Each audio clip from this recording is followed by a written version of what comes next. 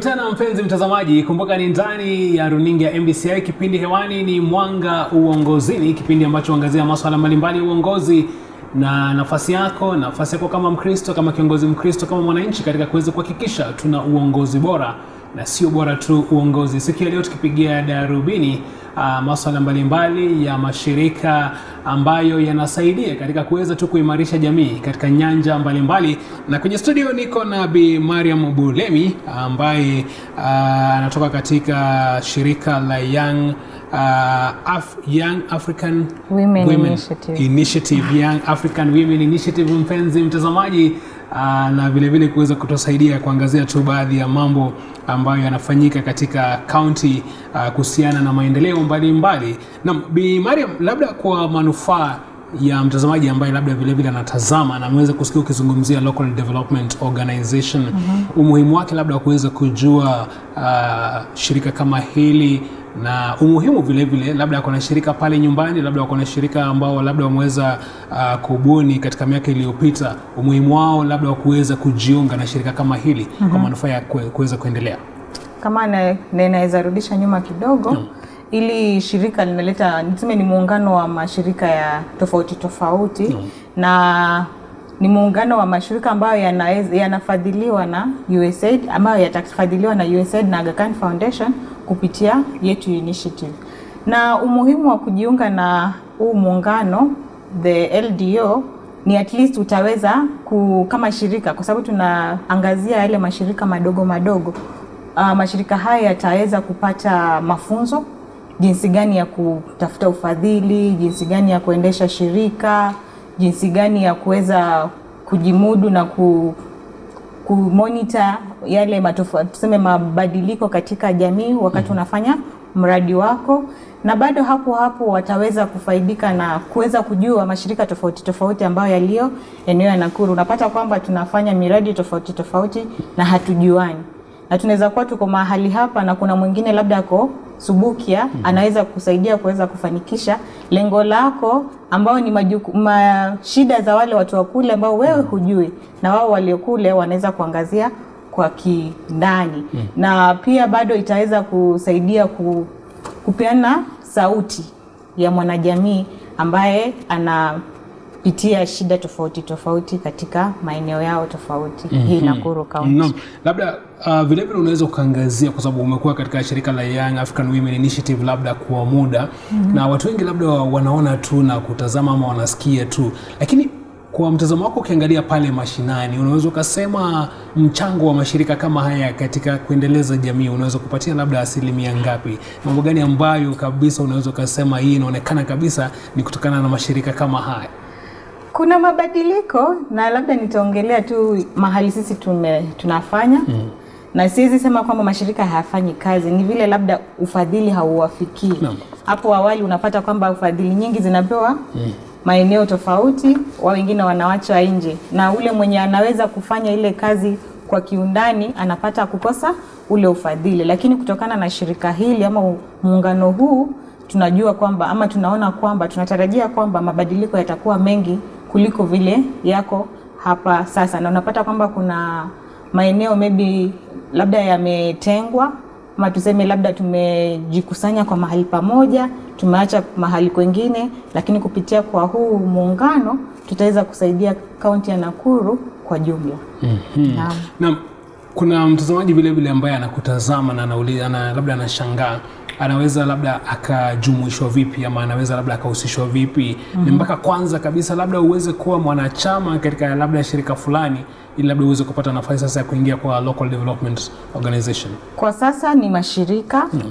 na bado kuna vikundi vya kibinafsi the private sectors mm-hmm tuna at least huo uko registered unajua ama kuna venye mmejipanga na mnaweza kufuatilia mkapata cheti chenu kwa sababu at the end of the day lazima kukuwe na makaratasi ya kuonyesha kwamba mnafanya kitu fulani mm-hmm. na bado pia kuna hivi vikundi vya kidini mm-hmm. kwa hivyo kwa sasa tunaweza sema tunaafikiana sisi wenyewe kwa wenyewe kama venye ninafanya sahihi tuweze kutafutana tuweze kujulishana lakini bado pia tunaweza kwenda pale kwa mtandao kwa kuweza kuangalia local development within Nakuru County tuweze kujiunga na sisi. mm -hmm. mm. Na umezungumzia baadhi tu ya mahitaji labda ambayo yanaanzishwa, labda kuna mwingine ambaye anatazama anashangaa mchakato wenyewe labda wa kuweza hata kuwa na shirika ama kuweza kuingia katika shirika aa, kwa madhumuni labda ya kuweza kusaidia jamii, mchakato wenyewe labda huo una, unachukua mtindo upi?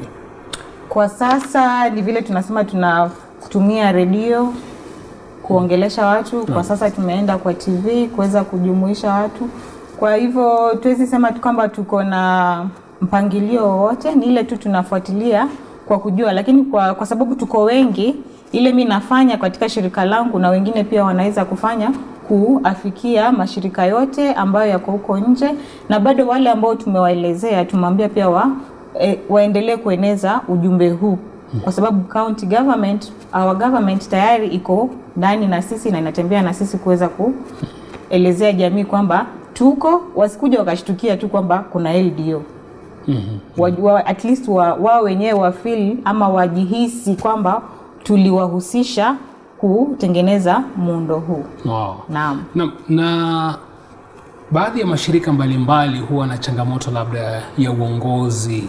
Uh, labda unakuta kwamba uongozi ambao umekuwa pale sio uongozi mzuri, uongozi duni, uongozi ambao labda unahusishwa na maovu mbalimbali, uh, maswala ya ufujaji wa fedha na mambo kama haya. mm -hmm. Je, ni mikakati ipi ambayo labda imeweza kuangaziwa? Ni mikakati ipi ambayo imeweza kuwekwa? Ni mbinu gani ambazo labda mnaweza kukutumia ili kuhakikisha kuna maadili, kuhakikisha kwamba kuna wajibikaji, kuhakikisha kwamba kuna uwazi katika vile ambavyo labda mnaendesha majukumu?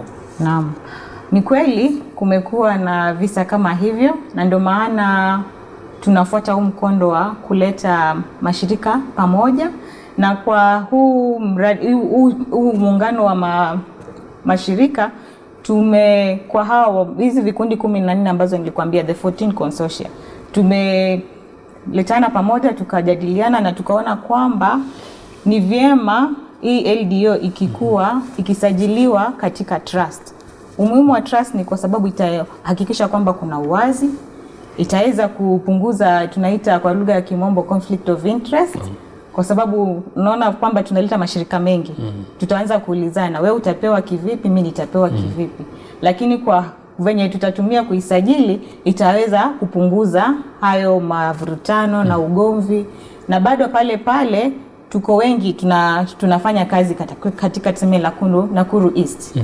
kwa sababu unafanya na shirika lako na mimi ninafanya na shirika langu na tunapata ufadhili kutoka kwa ili shirika moja la LDO. Siwezi taka kwamba wewe ufanye makosa kwa upande wako, upande wa sasa ufugaji kuseme ku embezzle funds. mm -hmm. Ehe, tunasema ufu, ya ufujaji wa fedha. ufujaji wa fedha Yeah. ehe.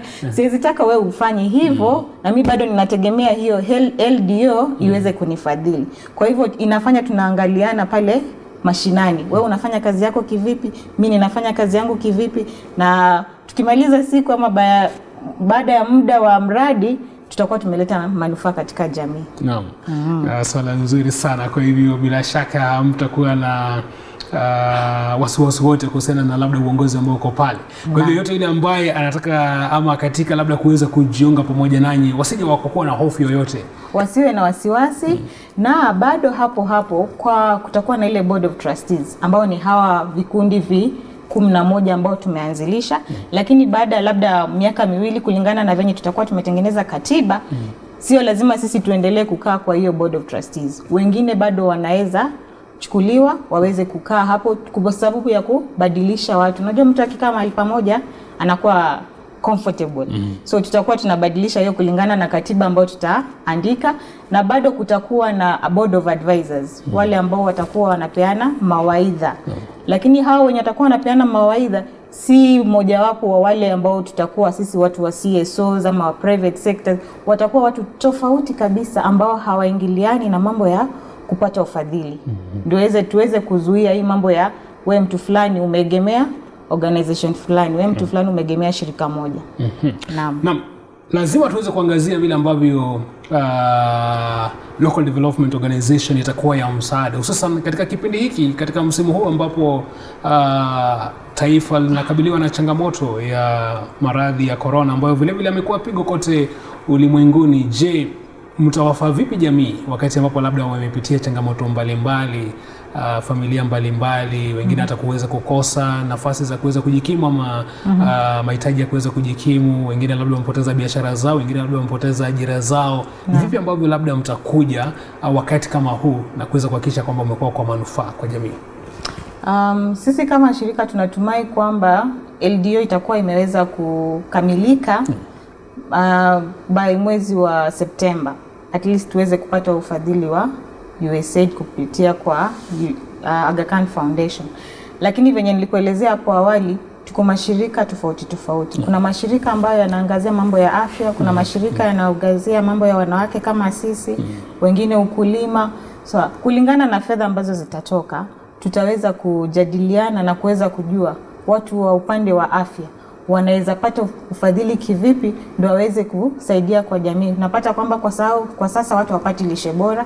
Kuna wale ambao watakuwa wakati huo labda wako malnourished. Haya, sisi kama wamama tunaweza wasaidia hawa mama kivipi? Labda kutokana na huo ufadhili tutaweza kuwarudishia biashara zao ambazo zimeweza kuzama sababu ya hii mambo ya corona.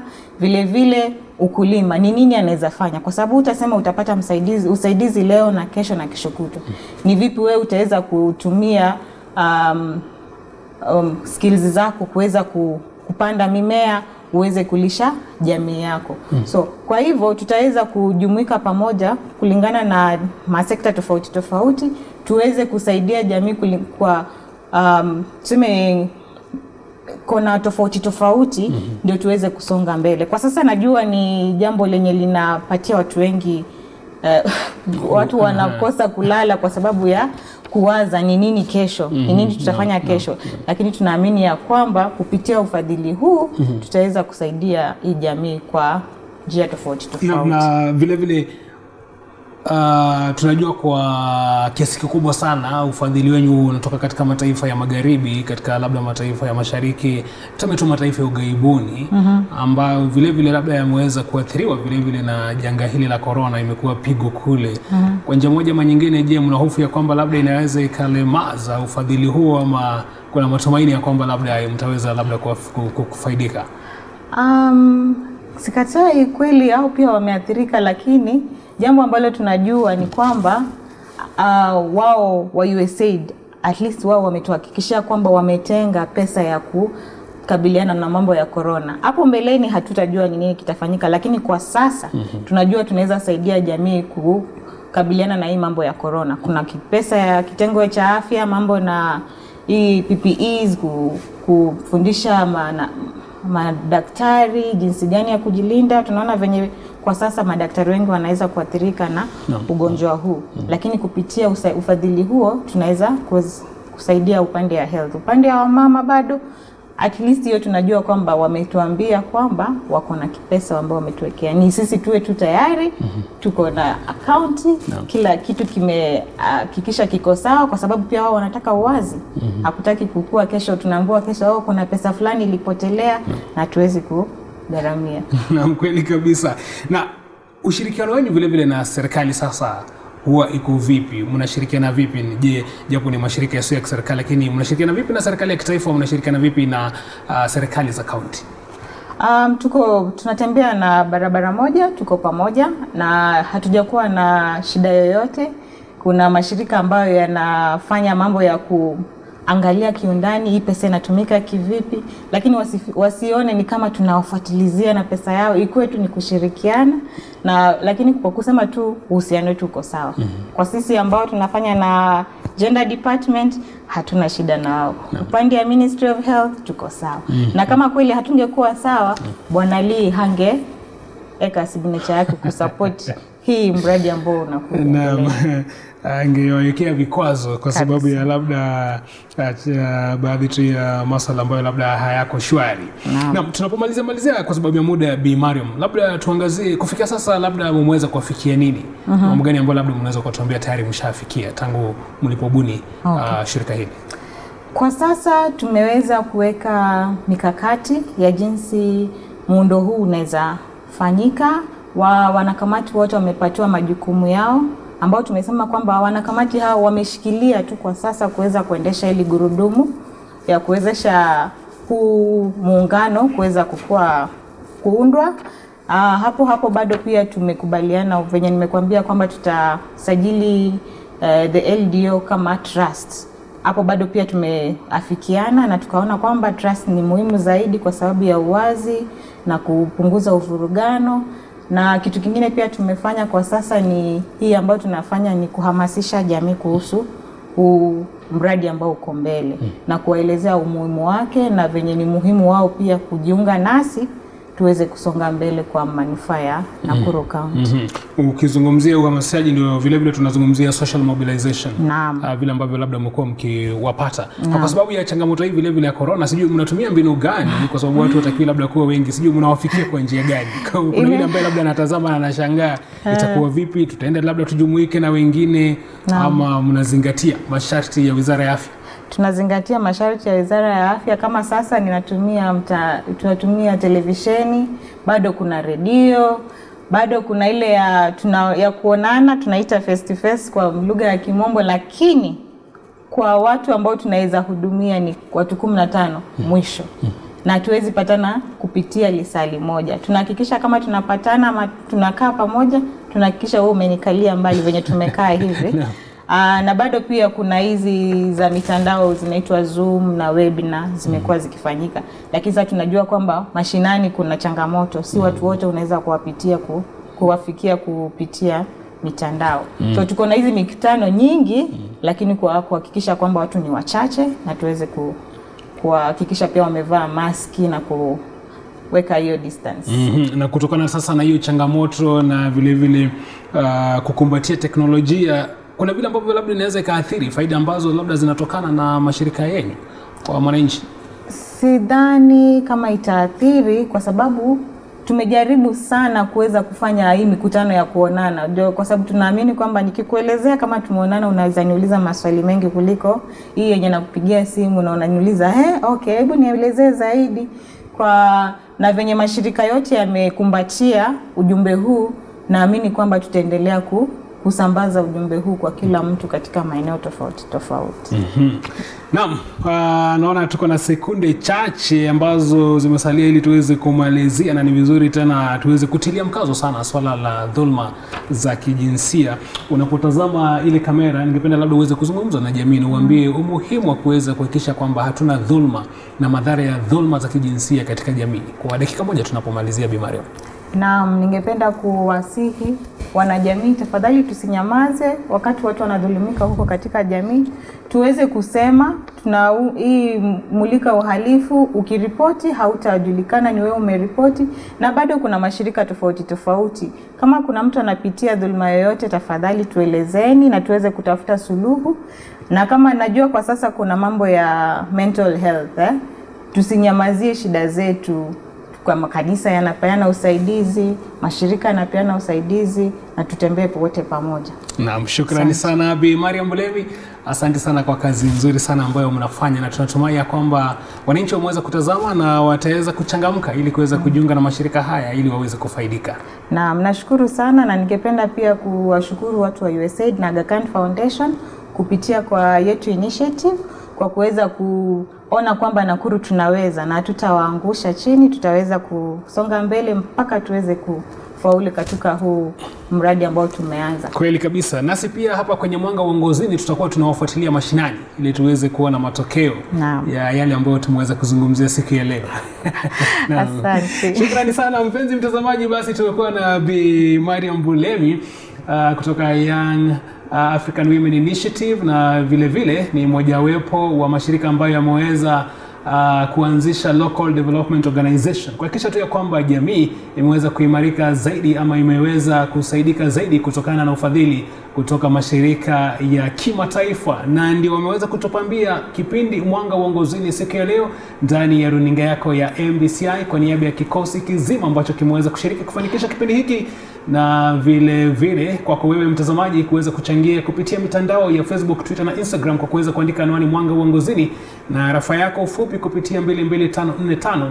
Tunakutakia usiku mwanana. Jina langu ni Mangicho Mwala.